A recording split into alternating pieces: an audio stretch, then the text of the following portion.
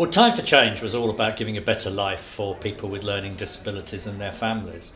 And it was about centering um, care on the individual and not on the institution. Um, two things I wanted to do and to highlight is the need to move from institutional care to care in the community, and secondly, to really entrench people's rights in the system, their right to challenge the way they're treated, their right to challenge where they're being placed. Uh, both of those issues, closing institutions, moving to community care, right to challenge, are central to what I'm proposing.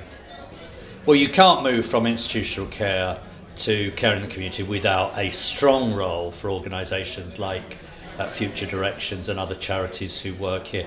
They are crucial. They are the organisations that have been delivering care in the community, and I see them spearheading the move to community care. I think it's actually very exciting that Future Directions is now established as a an independent social enterprise. It's able to take risks, able to break um, boundaries, grab opportunities, change the culture, and uh, a culture that's centred around people with learning disabilities, not around what the institution needs or wants.